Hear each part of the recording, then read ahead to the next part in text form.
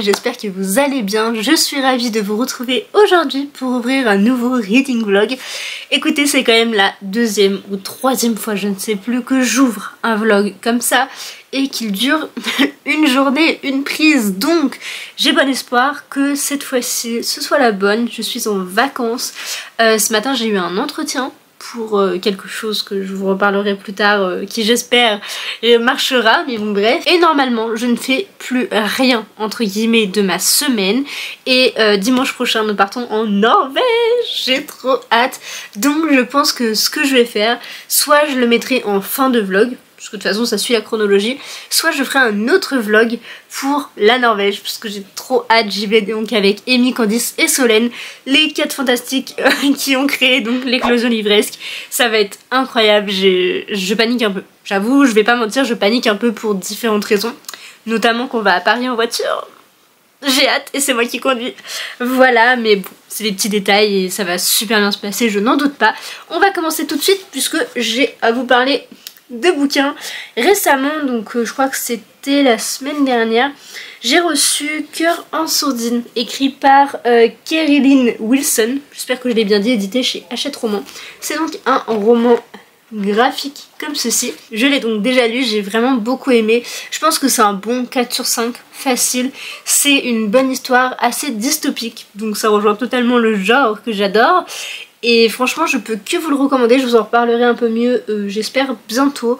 Donc là, je vais pas trop en dire, mais à part que c'était très bien. Euh, les dessins sont assez particuliers quand même. Parce que la plupart du temps, c'est en noir et blanc. Mais c'est totalement logique par rapport à l'histoire ça a du sens et on comprend pourquoi elle a euh, bah, justement un manteau jaune et que ce soit la seule qui ait des couleurs. Parce que oui, en fait, je pourrais vous faire résumer au moins. Ensuite, Jaune, une jeune fille qui adore dessiner depuis qu'elle est toute petite. Et en fait, il y a une espèce de programme scientifique qui s'est installé dans sa ville il y a quelques années ou pour que les gens ne ressentent plus la douleur, tout ce qui est anxiété, angoisse, toutes les émotions qui sont qualifiées comme néfastes, eh bien cette scientifique arrive à leur retirer leur cœur. Donc en fait ils n'ont plus de vraiment d'émotions, mais ils arrivent à survivre donc sans l'organe du cœur. On ne sait pas exactement quel système elle a mis en place pour que ça fonctionne, enfin pour que le corps humain reste en vie, mais dans tous les cas, les humains arrivent à vivre, mais n'ont plus aucune émotion, ni joie, ni peur, ni doute, rien. Ils sont vides. Alors oui, c'est un peu plus simple dans leur vie, dans le sens où ils sont maintenant bons à l'école ou au boulot, euh, ils n'ont plus de pression, ils n'ont plus d'angoisse, donc ils arrivent à dormir, etc. Mais ils ont plus ces moments de joie qui font aussi l'humanité. Et c'est horrible à dire mais toutes les émotions qui sont qualifiées comme néfastes donc la peur, la tristesse etc et comme ils en sont dépourvus bah finalement ils ont plus cette humanité. Et donc June a fait le choix de garder son cœur même si elle est triste, même si elle voit tous ses amis, toute sa famille qui n'ont plus ses émotions elle décide quand même de le garder et de rester elle-même. Et on va donc suivre tout son chemin jusqu'à ce qu'elle rencontre un jeune garçon avec tout un panel d'émotions etc c'est un roman graphique dystopique comme je vous le disais qui me fait extrêmement peur en soi parce qu'il est vraiment imprégné de réalisme. Et je me dis maintenant on arrive même à s'implanter des puces dans le cerveau pour pouvoir euh, déplacer des choses en tout cas plutôt au niveau informatique, etc. Et je me dis juste par la pensée, donc est-ce que un jour ça n'arrivera pas? Eh bien honnêtement j'espère que je ne serai plus en vie à ce moment-là, parce que je compte garder mon cœur même si ça fait mal, même si euh, il y a des fois je ne peux pas dormir, etc. Mais c'est aussi tout ce qui fait notre humanité. Et c'est une des raisons de pourquoi je l'ai vraiment adoré, parce qu'il dénonce beaucoup de choses et il fait aussi prendre conscience de beaucoup de choses. Donc je pensais vraiment avoir rien à dire dessus, mais finalement j'en ai des choses à dire et je vous le recommande vraiment vraiment beaucoup il est très beau et voilà, je, ne peux pas en dire plus que ce que je vous ai dit et j'espère que vous foncerez suite à ma petite recommandation, même si c'était pas non plus euh, des explications rocambolesques, mais j'espère vraiment que vous me ferez confiance et que vous le découvrirez à votre tour.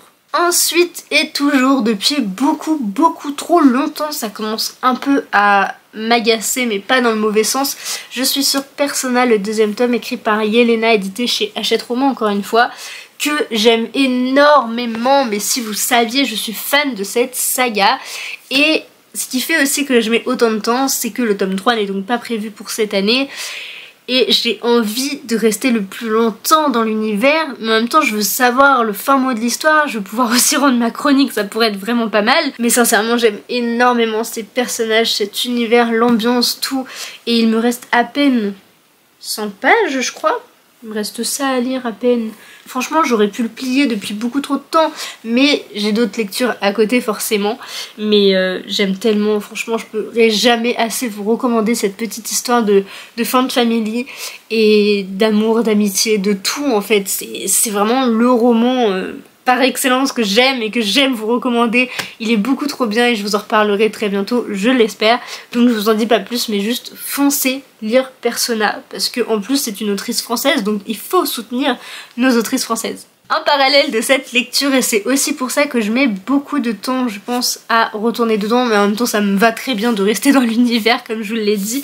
J'ai attaqué en lecture commune pour le one shot du mois Babel, la fameuse brique qui est magnifique mais qui est juste énorme de R.F. Kwang édité chez De Saxus. C'est donc la première version parce que je pense que vous avez vu passer le, le petit dilemme.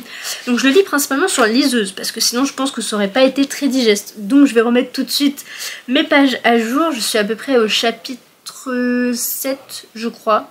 Euh, début du chapitre 7 au milieu, parce que je m'arrête souvent au milieu des chapitres, mais il faut savoir qu'ils sont extrêmement longs. Il y en a de 30 pages, si je dis pas de bêtises, donc euh, vous savez que pour moi c'est beaucoup trop. Et donc là j'en suis rendue à la page 186 euh, à peu près, grosso modo. Donc ça fait, euh, ouais, en fait j'ai lu que la petite partie que voici. Mais écoutez, pour l'instant j'aime bien, c'est très introductif et euh, l'histoire commence à se mettre en place, il se passe des choses, je me suis dit, ok, donc euh, racisme, misogynie, euh, violence sur euh, enfants, j'ai envie de dire. C'est assez particulier au niveau de l'univers, mais c'est hyper bien mis en place et c'est pas fait justement dans le sens où ouais c'est du racisme pour du racisme. Là c'est fait pour dénoncer et c'est ça que je trouve vraiment bien. C'est un choix de l'autrice pour bah, justement montrer que c'est mal et franchement j'ai hâte de continuer. Là je dois terminer un montage et après je finis les chapitres. Oh, d'hier finalement je suis encore en retard. On est censé être au chapitre euh, bah, je sais plus combien mais du coup 9, 10 quelque chose comme ça. Donc j'ai à peu près 50 pages de retard mais euh, franchement je, je, le savoure et je trouve ça trop cool parce que je vois pas les pages passer parce que là euh, comme je vous l'ai dit je n'ai lu que 187 pages et euh, pourtant je les ai pas vus passer et j'ai toujours envie d'y retourner. Franchement c'est hyper addictif et pour une grosse brique c'est assez rare chez moi donc je suis plutôt contente. Et parce que je n'avais pas assez de lecture, je pense que vous me connaissez à force, j'écoute aussi en audio Un cœur si loyal et solitaire, donc le deuxième tome de Un sorcier noir et éternel de Brigitte Kéméraire, édité chez Rajo que je n'ai pas en papier puisque j'écoute l'audio avant de savoir si j'achète la suite. C'est pas plus mal dans, dans, sens parce que ça m'évite certaines dépenses. Je ferai pareil pour le tome 3, comme ça je conclue la saga et je vois si j'achète le tome 2 et 3. Pour l'instant j'aime vraiment bien, bon je suis à plus de 70% globalement et euh, c'est super chouette, ça me fait trop plaisir de retrouver l'univers. Je m'attendais tellement à rien avec le tome 1 que finalement je savoure cette saga et je trouve ça trop chouette. Donc là, cette année, je compte bien, même finalement le mois de, au mois de mai, je compte bien terminer la saga, donc ça c'est aussi super chouette. Voici un petit topo sur toutes mes lectures en cours, il y en a beaucoup beaucoup trop. Là, je vais retourner donc mon montage, c'est pour ça qu'il y a mon PC d'allumer juste à côté, euh, parce que c'est un montage assez long, puisque je vous prépare ma tier list sur mes séries, elle sera déjà disponible quand vous verrez ce reading vlog, en tout cas je l'espère, sinon c'est qu'il petit problème. Et sur ce, on est parti sur un nouveau reading vlog, je suis trop contente depuis le temps. Que je voulais en faire un, ça fait plus de deux semaines hein, quand même que j'essaye, mais bon, là je me dis, c'est la bonne.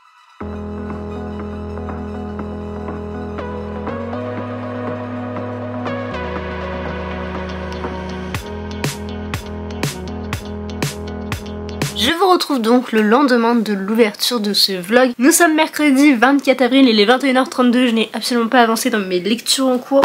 C'est-à-dire que là, Persona que je vous ai présenté hier, il est toujours au même stade. Et euh, au niveau de Babel, bah c'est pareil en fait, j'ai pas avancé dans Babel. Donc écoutez, pourquoi je vous prends? Eh bien parce que j'ai lu les tomes 9 à 12 de l'atelier des sorciers parce que je devais absolument vous tourner une vidéo. Ça y est, c'est fait, j'ai pu finir de les lire, tourner ma vidéo, donc ça c'est super. J'espère vraiment qu'elle vous plaira parce qu'elle me tenait à cœur, même si en vrai j'ai pas dit grand chose dedans. Euh, enfin si, je vous ai donné mon avis, je vous ai présenté la série, etc. Mais du coup comme elle est super cool, je me dis est-ce que ça va quand même fonctionner? Donc je croise les doigts parce que c'est vraiment, euh, bah, comme je vous l'ai dit, une petite saga de manga que j'affectionne particulièrement, même s'ils ils mettent énormément de temps à publier chaque tome. Et là, le dernier, c'était donc en novembre. Le 13e vient de sortir en VO, donc ça commence à faire un peu long. J'aimerais bien qu'il s'aille un peu plus vite. Mais voilà, c'est tout ce que je voulais vous dire dans ce rush qui a duré 1 minute 30. Je ne sais absolument plus si je vous avais parlé euh, de mes réceptions livresques ou pas. Euh, écoutez, j'ai été chez Gibert hier parce que j'avais un entretien, mais ça je crois que je vous l'ai dit. Et j'ai donc acheté deux romans que je vous présenterai quand je les aurai un peu plus euh, nettoyés parce que là je les ai juste laissés par terre, les pauvres. J'ai aucun respect pour eux. Et pareil, j'ai reçu mes Spy Family. Enfin, je suis trop contente, j'ai les tomes 1 à 7, donc c'est pas assez par rapport à à mon rythme de lecture actuel. Mais écoutez, je vais potentiellement les laisser en attente de lecture avant de tous les avoir. Là, on est au 13e, si je dis pas de bêtises. En fait, ça fait un peu pareil que les, ateliers des sorciers. Il y en a pas beaucoup, mais ils sont plus avancés que l'animé. Et je crois que je vous l'avais dit, j'ai une énorme addiction pour cet animé. Et là, on va aller voir le film incessamment sous peu, ce que je peux plus attendre. Et euh, bah là, je vais lire les mangas parce que ah, j'ai hâte de retrouver Anya, Lloyd et euh, Yor parce que vraiment je les aime d'amour. Donc voilà, c'est tout ce que je voulais vous dire aujourd'hui. Je compte bien ce soir. Petit programme. Je sais qu'il faut que j'avance dans Babel puisque là, bah, en fait, je suis toujours euh, au chapitre, je vous avais dit 8 je crois. Ouais, c'est ça, à moins que j'ai fini le 7. Je sais plus ce que je vous avais dit hier. Je suis donc au chapitre 8. Et j'aimerais bien l'avancer. Mais en même temps, il faut absolument que je termine celui-ci avant de partir en Norvège. Et j'en suis à la page 487, toujours vraiment. Et vraiment, je me dis pour ça, est-ce que ça vaut pas le coup de terminer celui-ci, quitte à me mettre en retard sur ma LC, enfin je me suis déjà d'au moins deux jours, donc euh, écoutez, on est plus à ça près. Et comme je vais emmener potentiellement que ma liseuse en Norvège, ou alors un autre petit livre, mais qui va pas me prendre toute la place, de préférence, et eh bien je me dis je pourrais me rattraper à ce moment-là, même si je sais que je vais pas lire énormément. Mais voilà, pour l'instant je suis en dilemme, donc je pense que avant je vais aller manger, parce que oui, il est bientôt 22h, je n'ai toujours pas mangé, mais écoutez... J'avais du boulot. Après, il faut absolument que je range un petit peu ma chambre et euh, bah, je vais lire, tout simplement. Parce que là, euh, ça fait clairement partie de mon travail, entre guillemets, pour tourner des vidéos. Parce que si je ne lis pas, j'ai rien à vous présenter. Donc faudrait peut-être que je m'active. Et de toute façon, il faut vraiment que je le termine. Et en plus de ça, j'ai envie de le terminer. Même si ça va me briser le cœur, mais j'ai hâte quand même de savoir la fin. Sur ce, je vous laisse avec ce plan inutile qui aura duré même pas 4 minutes 30 et je vous dis à très vite. Coucou, je vous reprends, il est 9h56, nous sommes donc le jeudi 25, je vous tiens un bout de bras donc j'espère que ça bougera pas trop. Vous allez vous dire, je suis toujours en pyjama, oui, c'est le cas, je passe ma vie en pyjama en ce moment. Écoutez, c'est les vacances donc j'en profite. J'ai pas mal de petites choses à faire aujourd'hui mais ma mission principale je pense c'est que ce sera de terminer Persona tome 2. Euh, j'ai avancé un petit peu hier soir, j'en suis donc à la page 509. Donc il me reste globalement 80 pages, donc je pense que ça pourrait le faire largement. Mais avant de faire quoi que ce soit, je prends mon petit chocolat chaud dans ma tasse renard. Je peux pas vraiment vous la montrer voilà, je pense que c'est mieux. Vous voyez le bazar en même temps. Et je vais manger des chocs à pic parce que écoutez, ça fait tellement longtemps que j'en ai pas mangé. Je me suis dit, et ça pourrait être sympa de redécouvrir un petit peu. Donc c'est ce que j'ai fait et je suis plutôt satisfaite. Deuxième mission au niveau lecture, j'aimerais terminer un cœur si loyal et solitaire puisqu'il me reste toujours 15-20%, quelque chose comme ça. J'aimerais le terminer en faisant ma vaisselle, puisque là j'ai accumulé un tout petit peu trop de vaisselle et j'aimerais beaucoup que ça s'enlève. Enfin, j'aime pas voir ce bazar. Donc c'est le moment d'y remédier. Est-ce que vous voulez voir un petit morceau de mon chat qui patine? Est-elle pas trop mignon ce petit chat? Regardez. Souvent je l'appelle croque-mou parce qu'il lève ses petites oreilles. Est-ce que tu fais croque-mou? Bon, bah apparemment il veut pas. Il va aller sous la couverture bref, c'était le petit instant chat, j'avoue, j'adore mon petit chat et j'adore les chats en général. Et je sais que vous aussi, donc écoutez, ça fait tellement longtemps que je vous l'avais pas montré qu'il était temps d'y remédier. Sur ce, je vais petit déjeuner et je vous retrouve tout à l'heure.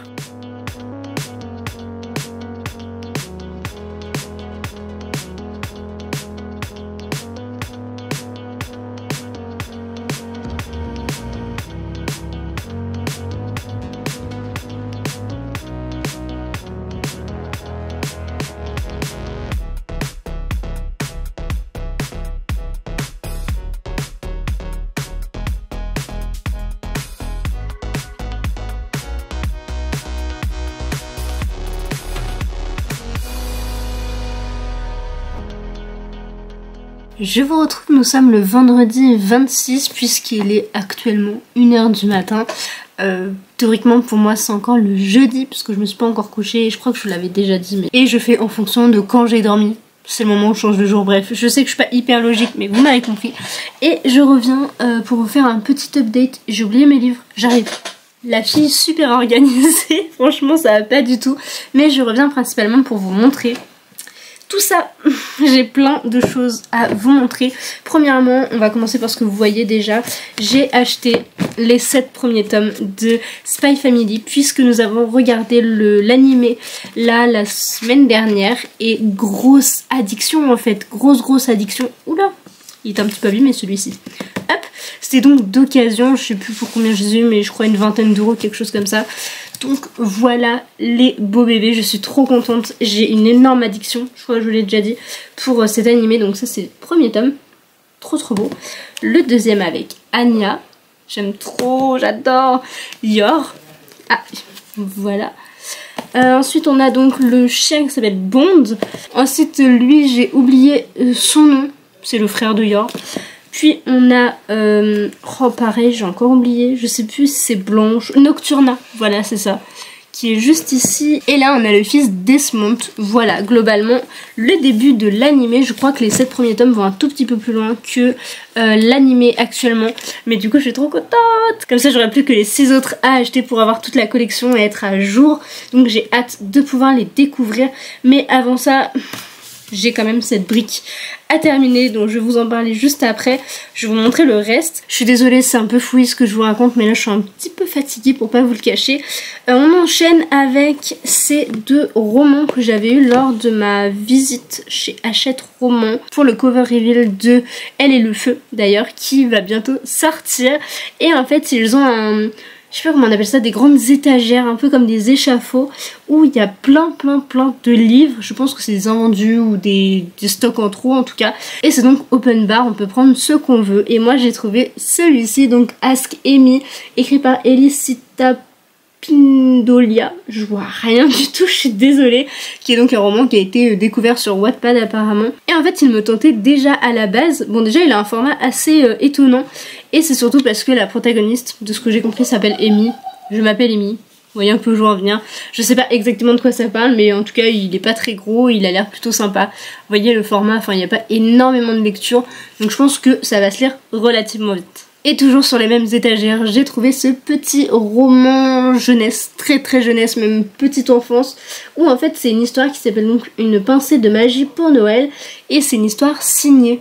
Donc signée vraiment avec la langue des signes. Je vais vous montrer un petit peu à quoi ça ressemble. Donc là, voilà, on a l'histoire, on a le texte, et à côté on a la façon dont il faut signer pour montrer aux enfants malentendants. Et je trouve ça tellement génial. Donc là par exemple pour biscuit, il faut faire, je crois que c'est ça. Un truc comme ça. Et pour Noël, Bon, je vous montrerai pas Noël, c'est un peu compliqué, euh, je n'ai pas encore appris. Mais du coup, je trouve ça chouette en fait de permettre aux enfants, même malentendants ou pas hein, d'ailleurs, parce que moi je sais que plus tard, si j'ai des enfants, j'aimerais bien qu'ils apprennent cette langue parce que c'est hyper utile et c'est vraiment un plus. Mais donc voilà à quoi ça ressemble et je le trouvais super cool. Donc écoutez, il y en avait plein, j'en ai pris un. Je n'ai pas d'enfant et je ne suis plus une enfant. Mais écoutez, je pense que je le lirai quand même au moment de Noël et j'essaierai d'apprendre 2-3 signes. Mardi, je crois que c'est le jour où j'ai débuté ce vlog, j'étais à Paris pour un entretien dont je vous parlerai plus tard et j'ai été faire un petit tour à Gibert parce que voilà, je ne pouvais pas m'en empêcher. J'ai trouvé deux petites pépites dont je suis très contente. Le premier, c'est un jeunesse aussi. C'est Les Royaumes Sauvages, apprenti malgré lui, le tome 1, écrit par euh, Amanda Foody, qui est d'ailleurs l'autrice de je sais plus quel livre, mais il y en a un autre, je crois que j'en ai un autre d'elle. Mais donc il se présente comme ça. Il est très très beau. Je crois que je l'ai eu pour 9,40€, quelque chose comme ça, au lieu de 14 et quelques. Donc franchement c'est plutôt une bonne affaire, il est en très bon état. Je voulais déjà le lire et bah écoutez un petit jeunesse qui va se lire relativement vite. Donc euh, j'ai dit let's go. Et de base je m'étais fixé un budget de globalement 10 euros. Donc celui-ci est rentré parfaitement. Et puis bah en faisant un dernier tour histoire de ne pas oublier... Euh, de pépites. Je suis tombée sur un roman et je ne pouvais pas ne pas le prendre. Honnêtement, vous allez voir comment il est beau. C'est donc Le Tour du Monde en 80 jours, une édition reliée comme euh, ce qu'ils ont fait pour les Trois Mousquetaires. Vraiment, il est hyper épais. Et là, par contre, il est tout petit, mais c'est trop trop chouette. Il est magnifique. Mais je trouve que ça rend pas bien Bon, en même temps, il faut dire qu'il fait nuit et que j'ai qu'une petite lumière au-dessus. Donc c'est pas tip top, mais il est vraiment trop, trop, trop beau avec plein de détails. Je suis ravie parce que j'adore Jules Verne et notamment cette histoire particulièrement. Enfin voilà, j'ai trop, trop hâte de pouvoir le relire. Et d'ailleurs, je vous en avais parlé dans ma palle de l'éclosion livresque puisque j'ai décidé, enfin même c'est l'auteur en fait, c'est Marocco auteur Jules Verne. Et donc j'ai décidé de relire celui-ci et je vous avais dit, je n'ai pas d'édition c'est chose faite. Ce matin, je vous avais dit que j'avais deux objectifs livresques aujourd'hui, à savoir terminer Persona tome 2 et terminer Un cœur si loyal et solitaire. Les noms sont à rallonge les trois tomes et donc je les ai terminés tous les deux pour un cœur si loyal et solitaire et eh bien écoutez j'ai vraiment vraiment bien aimé je trouve que l'histoire est hyper prenante même si ça m'a un peu perturbée qu'on ne suive pas totalement les mêmes personnages, puisqu'on est vraiment centré sur Grey et Liamara.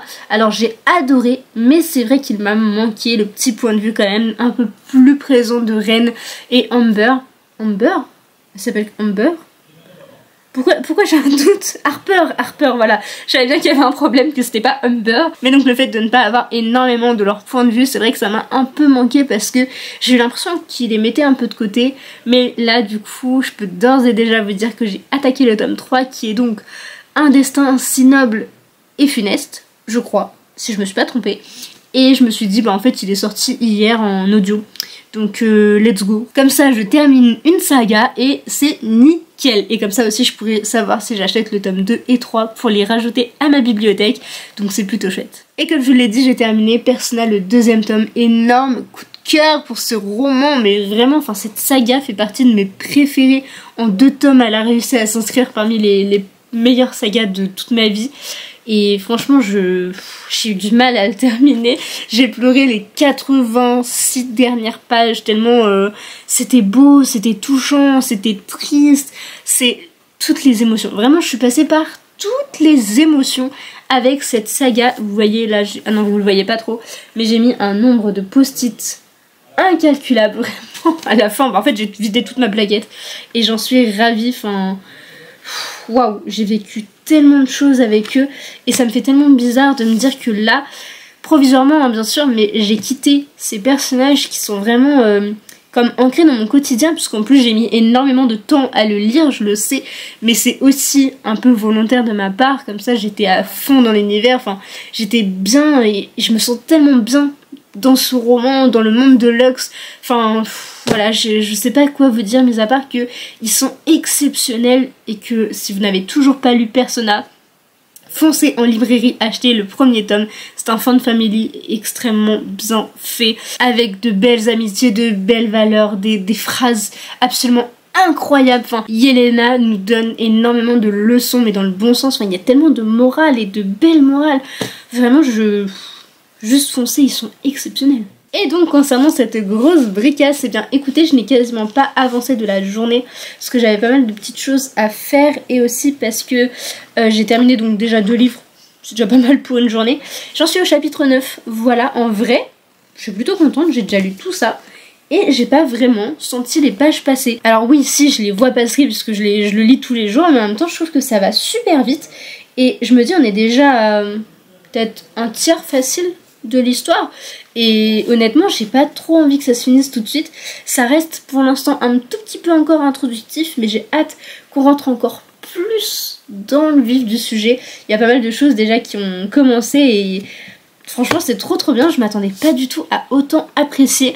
Et j'avais même peur de ne rien comprendre. Et pour l'instant, bah, super découverte. Et j'ai hâte d'y retourner. Par ailleurs, on peut voir qu'au dos, il y a écrit qu'il a remporté le prix Nebula du meilleur roman 2023, le British Book Award du meilleur roman de fiction 2023, le prix Locus du meilleur roman de fantasy 2023.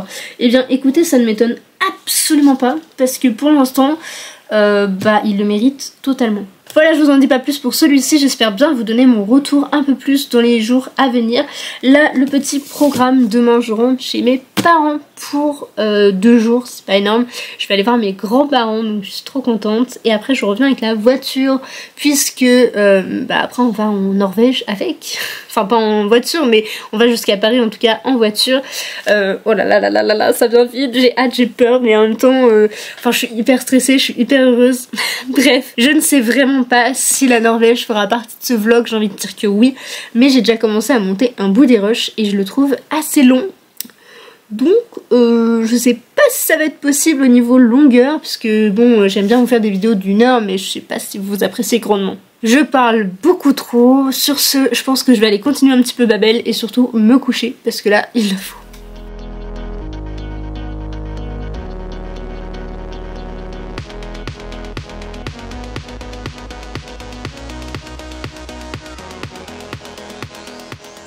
Retrouve extrêmement rapidement parce que je vous tiens à bout de bras. Bon bah là vous pouvez constater qu'il y a mes Hunger Games. Ils ne sont pas tous là parce que j'en ai quand même beaucoup à rond.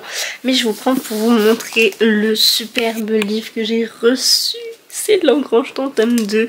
Il est donc comme ça en relié. Je vous ferai un plan un peu mieux pour vous le présenter mais il est magnifique et je suis tellement heureuse de l'avoir. Vraiment un énorme merci à Hachette Roman pour cet envoi, cette confiance encore puisque bah il m'a envoyé toute la duologie en fait. Et je trouve ça vraiment fou. Et en plus les deux en enfin c'est un truc de malade. Bref je suis trop trop contente. J'ai trop hâte de le lire. Mais il va devoir attendre mon retour de Norvège puisque là j'ai déjà Babel en cours. Et euh, faudra que je vous en parle un peu plus. Mais je suis toujours sur le chapitre 11 non pas que j'aime pas c'est juste que j'ai pas le temps de le lire en ce moment. Il se passe beaucoup de choses dans ma vie donc euh, voilà. Pour l'instant je me suis pas plus penchée dessus. Mais je compte bien lire aujourd'hui puisque nous sommes samedi 26 euh, je crois, 27, je sais pas quel jour on est, mais on est samedi. Et donc je rentre chez moi, je vais pouvoir poursuivre ma lecture de Un serment si noble et funeste, qui est donc le troisième tome de Un sort si noir et éternel. Donc toujours en lecture audio, donc quand je fais la route, c'est génial. Et après quand je rentrerai donc chez moi, je me poserai un petit peu pour lire. J'ai fini mon montage vidéo pour la vidéo de mercredi 30. Donc ça c'est chouette, quand je serai en Norvège, vous aurez quand même une vidéo et c'est tout ce que je voulais. Et après ce soir, petite soirée avec mon copain, je sais pas, on va mettre un film, tout ça. Peut-être un petit moment lecture, ça pourrait être super chouette. Donc je vous tiens au courant. Je vous retrouve, nous sommes le 3 mai, il est 22h58 comme vous pouvez le constater.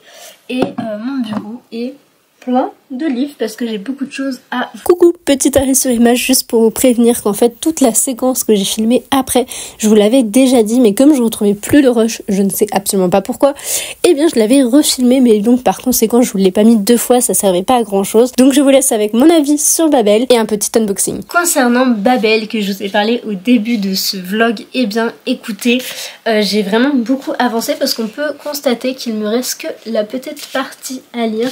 J'en suis à la page 488, c'est ça.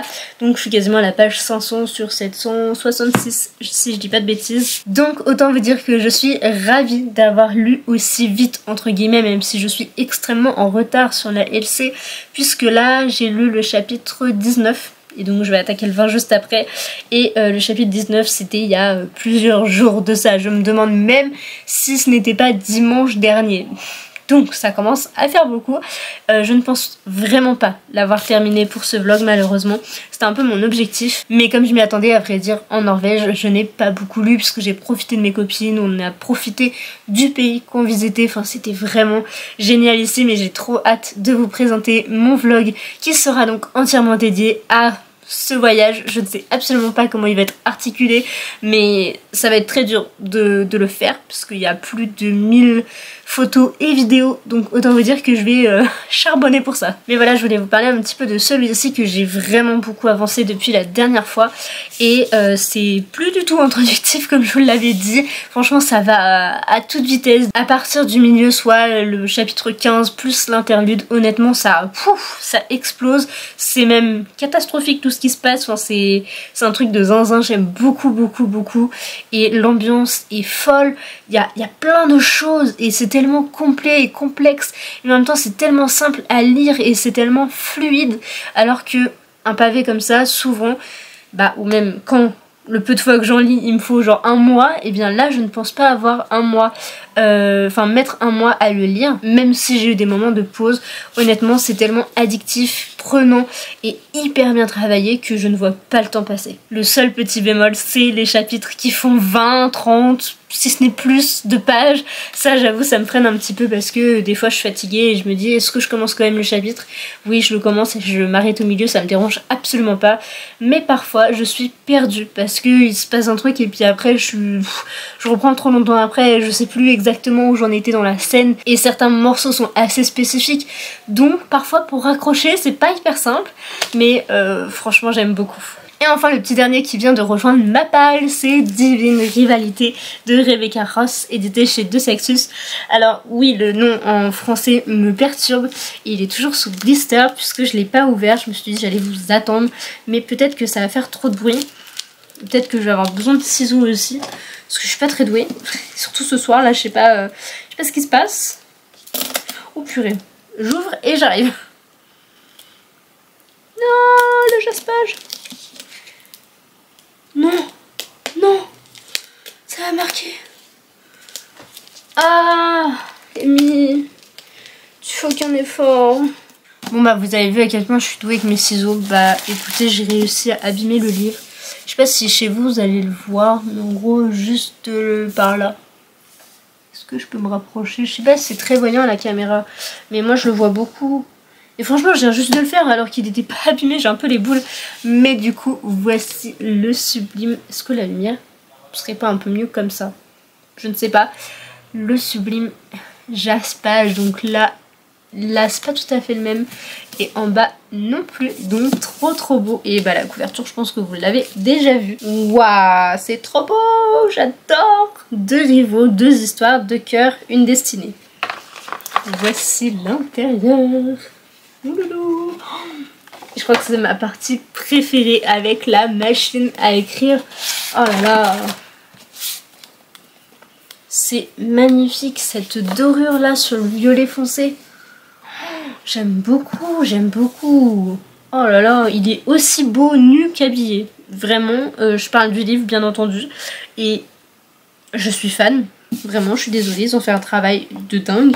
J'ai extrêmement hâte de le lire, même si j'avoue que je me rappelle plus trop trop trop de quoi ça parle. Mais on a une bonne petite flopée quand même de trigger warning comme d'habitude j'ai envie de vous dire. Donc là par exemple on a l'alcool dépendance, la description explicite de blessures, pareil pour les cadavres, détresse psychologique, deuil, guerre, mort d'un proche, manipulation, sans sexe et violence. Bah écoutez, ça va être très sympa à lire, je le sens. Mais non, en vrai, il me tente énormément. Il a d'excellents retours. Et notamment ma copine Solène qui me l'a très très bien vendu. C'est peut-être même une des raisons de pourquoi je l'ai acheté aussi précipitamment. Parce que, bah, en plus qu'il soit si beau, bah, il me tentait et elle m'a donné envie de le lire. Il fait 425 pages, donc en vrai, je me dis, il faudrait que j'arrive à me le caser dans pas trop trop longtemps. Parce que en ce moment, j'essaye encore de faire du tri dans ma palle, puisque je sais qu'il y en a que je ne lirai pas. Et j'en vois d'autres qui arrivent et je me dis là, ça va plus être possible. Non pas que j'aime pas avoir une grande palle, mais en même temps, ça me sert vraiment à quelque chose, sachant que ma bibliothèque est remplie et je n'ai même plus l'opportunité de les ranger correctement? Et ça commence un peu à me bouffer. Voici du coup pour toutes mes nouvelles acquisitions. Je suis trop contente, ils sont tous trop beaux, je les aime tous déjà. J'ai hâte de les lire si ce n'est pas déjà fait et je vous tiens au courant de tout ce qui pourra se passer. Normalement ce vlog devrait bientôt se terminer. Euh, au plus tard demain matin parce qu'il faut que j'ai fini le montage demain midi grand max. Et voilà ça y est notre petite aventure euh, livresque sur Persona et Babel euh, touche à sa fin même si je n'ai pas encore fini Babel. Peut-être que je pourrais le rush cette nuit. Après ce serait bien de dormir aussi ça pourrait changer un petit peu mais écoutez, je vais faire mon maximum pour vous donner le plus d'éléments possible demain. C'est vrai que je suis pas énormément sortie durant ce vlog, mais écoutez, euh, bah, je suis trop contente et je voulais pas trop incorporer la Norvège dans celui-ci parce que ça aurait fait beaucoup trop gros et j'aimerais bien faire des vlogs plus courts, même si avec ce rush ça va être impossible. Mais écoutez, sur ce, je vais vous laisser, comme ça ce sera pas trop long.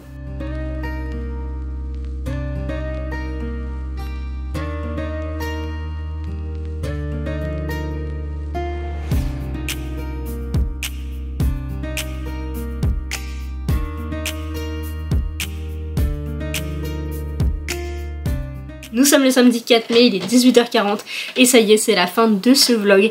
Donc je ne voulais pas vous quitter sans vous dire un petit au revoir pour le prochain vlog. Et je voulais aussi vous faire un dernier petit retour sur Babel que malheureusement je n'ai pas terminé euh, pour ce vlog. Mais écoutez, ce n'est pas grave, je vous en reparlerai pas dans un vlog ou quoi, mais dans un Il était un livre, ça, soyez-en sûrs. J'en suis donc à 60% précisément, soit le chapitre 21 si je dis pas de bêtises, c'est bien ça. Et écoutez, ma foi, j'aime énormément. C'est assez lent mais en même temps très rythmé. Je sais pas comment expliquer euh, ce, ce, que je ressens, mais d'un sens ça va extrêmement vite. C'est passé un truc de zinzin et je m'y attendais absolument pas. Enfin, oui et non, dans le sens où en fait je me suis fait spoiler sur mon Discord, alors pas du tout à cause des filles parce qu'elles l'ont lu il y a au moins 4 jours, mais j'ai appuyé sens que j'étais assez avancée pour pouvoir révéler ce qui était écrit, au final non pas du tout, mais quand j'ai lu ce, ce que la personne avait écrit j'étais choquée, je me suis dit waouh comment ça, et après je l'ai lu j'ai fait ah ouais, ok, ça se passe vraiment comme ça. Et non, franchement, une excellente lecture que j'espère va durer encore sur les à peu près 200 dernières pages, parce que j'en suis à 500 et quelques. Donc euh, franchement trop chouette. Pour l'instant, je peux pas vous en dire plus. Mais à ce stade de ma lecture, je vous le recommande fortement. Je suis toute bien habillée puisque je me rends à un anniversaire. Il faut que je me dépêche puisque nous devons partir incessamment sous peu. Mais je voulais quand même faire un petit euh, bah, ciao pour cette vidéo. Et puis bah, j'espère que ça vous aura plu, que ce vlog n'aura pas été trop trop long. Même si finalement avec les derniers rushs, ça l'était. Et bah, j'espère que ça vous aura plu et je vous dis à très vite dans une prochaine vidéo. Bye